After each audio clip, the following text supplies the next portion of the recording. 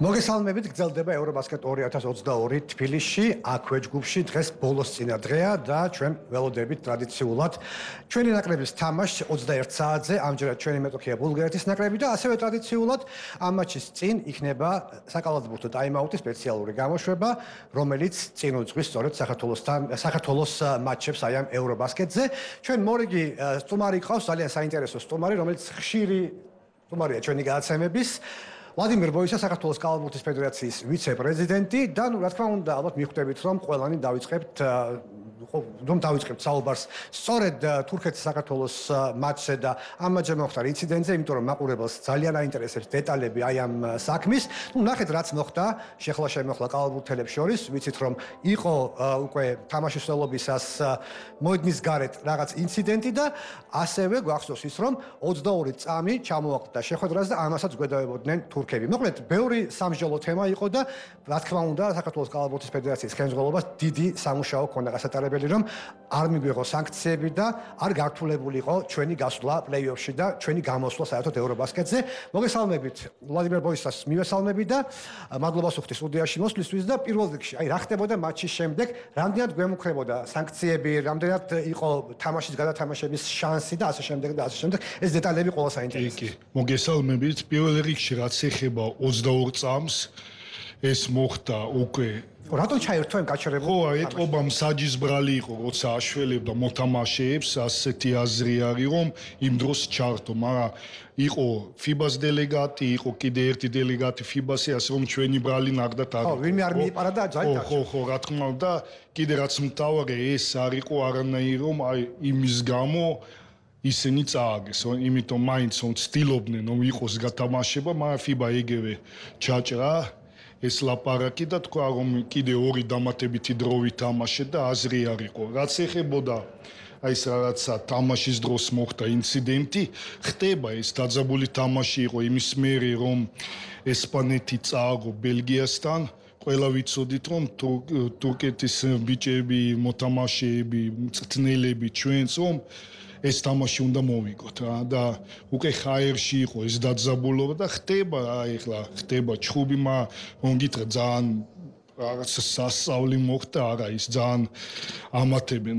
თურქეთის ფედერაცია და თვითონ თურქები თურქეთის მოდი ჟურნალისტები ესეთი რაც ისინი ამბობენ ასე არისო მოდი ხო ჩვენ დღეს ნახეთ თურქების თამაში ბელგიის ნაკრების წინააღმდეგ და ქორხმაზე შესანიშნავად გამოიყურებოდა არაერთი კვალი იქ ჩხუბის და არ ყოფილა და ბავშვი ესეთი კი სცენაში ყავდა წაყვანი და ყველაზე მთავარი რაც არის იმდენი შრომა სამ საათამდე მუშაობდით ვიჯექით FIBA-სთან და ყველაფერი და აი შედეგი არის რომ ბიტაძე და სანაძე თამაშობენ დღეს ეს არის ყველაზე მნიშვნელოვანი ჩვენთვის. საერთოდ რაში დაშიდათ ასეთი სიტუაციის დრამატიზება თურქებს თქვენი აზრით? ჯერ ესეთი გვახსოვს როცა დაიწყო ევრობასკეტი მათი მწვრთნელის განცხადებები რომ თითქოს რაღაც არ მოეწონა ორგანიზებაში. შემდეგ ეს ინციდენტი და წავიკითხე უამრავი განცხადება და ისე წერდნენ ყველაფერს რომ თითქოს აი დაინგრა ქვეყანა აი რა აუ ვიცი ეს ტიპ წნელი არის რომ ეხლა თქვენ თუ ისტორიას შეხედავთ უკვე ევროლიგაში ქნის პრობლემებს. მე მქონდა გუშინ ტაიმაუტში მისი ვიდეო კოლაჟი გავაკეთე მისი სკანდალური ქცევების ბარსელონას გულშემატკივრებს ხელებს უქნევს და მეთასი მოვიგე და ასე შემდეგ და ასე შემდეგ. რა თქმა უნდა კაი წნელი არის და ძალიან მაგარი წნელი ბოლოს და ბოლოს ოქჯერ მოიგო. ევროლიგა. მაგრამ ისიც არ მომეწონა რომ ამბობს რომ თუ გახსოვთ პირველი თამაშის მერე რომ არავინ მაყურებელი არ არის 16 წლამდელების ტურნირს უფრო გავს. ადა თვითონ თურქეთს ქონდა ვალდებულება რომ 1500 ბილეთი უნდა იყიდა და სტუკიდან უნდა ჩამოსული იყო ხალხი და რა შეასრულე და შენ თუ არ ასრულებ ჯობი არ ცილაკარა ხო. ხო ხო მე რა თქმა უნდა და აი ხა მე რა მინდა კითხოთ ანუ გავიგათო გაათამაშების საკითხი არ დადგარა დღისას რიგში. საქმე დასრულებულია თუ არა ფიბას მიერ? თუ გძელდება ჩვენ კიდევ მოკლება გძელდება გძელდება და ის კომისია არის სპეციალურობა ჩვენთვის რა მნიშვნელოვანი არის რომ დრევანდელი დღე და ხვალინდელი დღე არანაირად არ შეგვინის პრობლემას. არ შეგვინის პრობლემას და თუ რაიმე სანქციები მაინც დაწესდა, ეს შეიძლება ეს სანქციები გადავიდეს ნოემბრის თამაშზე თამაშზე თუნდაც, როცა იტალიის ნაკრები ჩამოვა სოფიაში. რაც რაც რა შეიძლება რა ვივარაუდოთ, რა შეიძლება მოხდეს. რაც არ უნდა თქვათ, მაინც ეს დისციპლინა გადაწყვიტოს, მაგრამ მე არ ამგონია იმის მიხედვით, რომ ისეთი სერიოზული არაფერი არ იყო, როგორც ის ამბობენ, შეიძლება იყოს რამე სანქცია, მაგრამ არ იქნება ისეთი, რომ ძალიან ისეთი რომ დაგვატრას ძალიან. ხო, თუმცა ჩვენ ერთი მომენტი გამოგჩა, აი ამ შეხლა შემოხლიზოს მოედანზე მაყურებლების ქცევა იყო, არც თუ ისე მოსაწონი და ეს ცოცხლად იხილეს ფიბას წარმომადგენლებმა, წყლიანი ჭიქების სროლა და სხვა სხვა საგნის სროლა. აი ამაზე თუ იყო მსჯელობა და მინდა რომ აი დღეს მოუწოდოთ მაყურებელს რომ მაქსიმალურად კორექტულები იყვნენ ვიცით რომ ისინი დაძაბულები არიან ჩვენს დაძაბულები ვარ შეიძლება მეც მინდა რაღაც სროლა მაგრამ ელემენტარულად თავი და შევიკავოთ კი კი რა თქმა უნდა ერთი რომ ეს ის მე უკვე სხვებიც უყურებენ და სხვებიც ესე რა თქმა უნდა ეს არ შეიძლება. მაინც სტუმრები არიან მაინც ჩვენ ქვეყანაში და ჩვენ ესეთი ტრადიცია არის ვიქცევით კარგად ხო და ყველა ველკომ ხო საქართველოსია და არ შეიძლება ისეთი სანქცია, აი მესმის აი ხლა როცა მოწინააღმდეგე მოთამაშე ძალიან ცუდად იქცევა მთელი სკამი ცუდად იქცევა ისინიც ვერ გაძლეს. ხო ვერ მოიტყულა ვერ მოიტმინეს და ესო თუმცა კიდე ერთხელ ეს არ შეიძლება დაგბაში და არსად კარგით მოდი ახლა დავანებოთ თავი თურქეთის საქართველოს მაჩ და გადავიდეთ დღევანდელ შეხვედრაზე. ჯერ ესეთი თურქეთთან მაჩზე მაინც მინდა კითხოთ რომ აი რამდენად გჯეროდა თორსა დავკარგეთ დუდასანაძე დავკარგეთ მე უკვე შერმადინი ზედმეტი ჯარიმების გამო არ ყავდა თორნიკე შენგელი არ ყავდა ბითაძე რომ აი ორი ოვერტაიმს გაუძლებდით თურქებს. გჯეროდა თუ არა ბოლომდე? მე თან ჩემთან ახლოს იჯექი და მე თქვენი ემოციებს ძალიან კარგად ხედავთ. კი მე პირველ რიგში მინდა ყველას გადაუხადო დიდი მადლობა ვინც მოვიდა თამაშს იმიტომ პირველი თამაშის მე რომ წავაგეთ, მეორე თამაშიც რომ წავაგეთ, მაინც მოვიდნენ და გადატენილი დარბაზი იყო და ეს კიდე გვანახა რომ ეს არის ზეიმი საქართველოში, ეს არის ევროპის ჩემპიონატი, ყველაზე დიდი ღონისძიება სპორტული, რაც ოდისმე ჩატარდა და ძალიან მიხარია რომ ის ხალხი ხალხი დააფასა ეს ყველაფერი და პიკოპონ ყველაზე დიდი წვილი ზუსტად აი ეს გადატენილი დარბაზი შეიტანა. იმიტომ მე არ მჯერა რომ თქვათ რომ აი თქვათ რაც იტალიაში მოხდა გუშინ 60 60 თუ 70% იყო და უკრაინა მოუგო იტალიას იტალიაში. მეც მჯერა რომ თქვათ 60-70% რომ იყოს მაყურებელი აქ. წავაგებთ. და კიდე ერთხელ ყველას დიდი მადლობა ვინც მოვიდა თამაზე, აი ძალიან ზეიმი იყო და უკვე დღეს დილიდან დილიდან კი გუშინ უკვე გძნობდა აი ვის ეკნება ეს 2-3 ბილეთი რომ მოვიდეს თამაშზე აი ეს ეს რა ბულგარეთში აი ეს არის ევრო ჩემპიონი ევრობასკეტი შენ ქვეყანაში და რა აი ძალიან ძალიან მიხარია. აი რა სიტუაცია არის ახლა ქვეყანაში ხო უშუალოდ თამაშო დაუბრუნდეთ თურქეთთან აი მე რაღაც ისე შტაბის წილება შემიქნა რომ ნელ-ნელა ახალგაზრდები გადაიბარებენ ჩვენს ნაკრებს. ნუ ამას ვამბობ, იმიტომ რომ რატი ანდრონიკაშვილმა ბრწყინვალე თამაშე, მამუკალაშვილი, ბითაძე, თქვენ შეvat ესეთი გწობა და აი ნელ-ნელა ახალგაზრდები ხდებიან ამ ნაკრების პატრონები. თუმცა რა თქმა უნდა, ვეტერანებიც უდიდესი წვლილი შეიტანს გამარჯვებას. რა თქმა უნდა, რა თქმა უნდა, ეხლა ვეტერანები ომიდე ვიღაცა ხონდა ითამაშოს და და მიხარია რა, მიხარია რომ კარგად ყველა ვინც გუშინ უკვე თავიდან ბძნობდა რომ აი ბძოლობდით გლადიატორები ვიყავით მოედანზე აი ვიც აი შეიძლება მოთამაშეების კლასი და ისინი უფრო კაი გუნდებში არიან ევროლიგის მოთამაშეები NBA-ის მოთამა აი გუშინ გძნობდა პირველი წუთიდან რომ ჩვენ უფრო გვინდა ეს მოგება და ახალგაზრდები კიდე ერთხელ დაანახსომ კი პრობლემა შეიძლება იყოს მაგრამ აი ისეთი არა რომ უნდა ვინერვიულოთ ამასობაში სასიამოვნო სიურპრიზია ჩვენს გადაცემაში თორნიკე შენგელია შემოგვიერთა თორნიკე მოგესალმები. ძალიან დიდი მადლობა რომ ხარ ჩვენთან ერთად ვიცი რომ გულით ბიჭებთან ხარ და მალე ისევ გაგიშვებთ მათთან მაგრამ ძალიან დიდი მადლობა რომ ხარ ჩვენი სტუმარი და პირველ რიგში ჯანმრთელობის მდგომარეობაზე კითხავთ რაც მეყურებელს აინტერესებს პირველ რიგში. ხარი და რამდენი ხანი გაგიცდებათ დაახლოებით თუ შეგიძლიათ უთხრათ? მოგესალმებით პირველ რიგში მივესალმებ მაყურებელს. ხარსაც შეეხება აა მივიღე ლავიწის სulis აა ტრამა და ნუ საბედნიეროდ ასე ვთქვათ ოპერაციის გადავრჩი და სულ რაღაც ორ თვეში ალბათ დაბრუნდები სათამაშოდ. და კლუბი რომელსაც გააფორმეთ კონტრაქტს ეს იქნება ისე ვირტუს ბოლონია შეგვიძლია დავადასტუროთ ეს ამბავი ჩვენ გაცემაში. ჯერ არ შეგვიძლია ამას დასტურება ალბათ ცოტა ხანში ყველაფერი გაიგო კარგი მოდით ახლა დავაბრუნდეთ უკვე ჩვენი ნაკრების გამოსვლას. რა თქმა უნდა თქვენ ყველა შეხვედრას ადევნეთ თვალი და პირველ რიგში ბელგიასთან მარცხი იყო თუ არა? ამ მარცხის მიზეზი ის რომ ადაპტირება გაუჭირდათ ბიჭებს თქვენ გარეშე და თავიდან როცა რა თქმა უნდა გუნდი ემსადებოდა თქვენთან ერთად გადაწყობა ბიჭებს გაუჭირდათ. იყო თუ არა თავარი მიზეზი მარცხის აი ეს თქვენ როგორ ფიქრობთ? ალბათ რაღაც ნაწილი ესეც იყო, მაგრამ აა, ჩვენ ყველამ კარგად ნახეთ ცხადი იყო, რომ იტალიასთან ძალიან კარგი მა- მატჩი ჩაატარეს აა, ჩემი ტრამვის შემდეგ აა, და გამოისახა, რომ ბიჭებს შეუ- შეეძლო თამაში აა, აა, სხვა ტაქტიკით, ასე ვთქვათ. მე უფრო დავაბრალებდი ალბათ პირველი თამაში, ბერუსის პირველი პირველი ევრობასკეტი თან სახში იყო სადღაც ალბათ ნერვების ფაქტორიც, მაგრამ როგორც ყველამ ნახეთ, შემდეგ თამაშებში უფრო და უფრო თავისუფლად თამაშობთ. ხო, და თურქეთთან მატჩებს საუბრობდით ბობა ბოისასთან, რამდენად შეგი ორივეს გეკითხებით ამას. ნახეთ თუ არა ახალი ვარსკვლავის დაბადება მე სანდრო ამკალაშვილი ყავს ხედულობაში.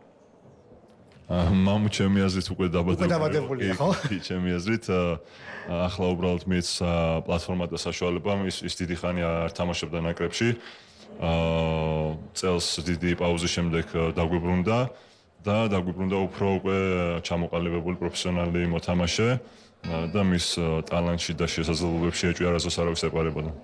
თქვენი აზრით საინტერესო. ჩემი აზრით აი ანდრონიკაშვილი აი ეს მოთამაშე რაც ეხლა თანამედროვე კალათბურთს უნდა სრაპი არის ფიზიკა აქვს მაღალი არის გამთამაშებელისთვის და რა თქმა უნდა უკვე თუ თამაშობ ესეთი დონე ევრობასკეტი და ხარ საქართველოს ნაკრებში რა თქმა უნდა უკვე ხარ მოთამა კაი დონის მოთამაშე ხო, და რა თქმა უნდა, ეხლა ყველა საინტერესებს დღევანდელი შეხვედრა, ჩვენ მქონდა უმძიმესი მატჩი, აა წინა შეხვედრა თურქეთის ნაკრების წინააღმდეგ, ორი ოვერტაიმი.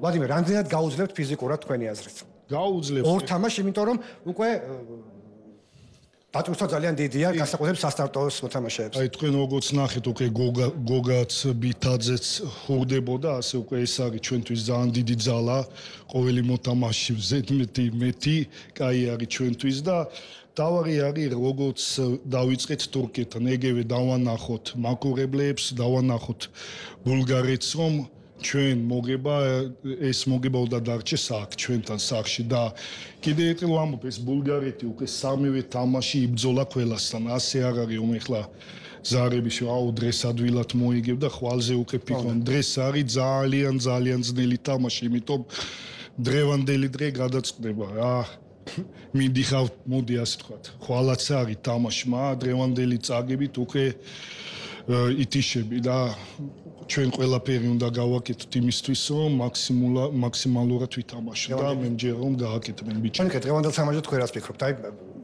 რას უნდა მიაქციოთ პირველ რიგში ყურადღება?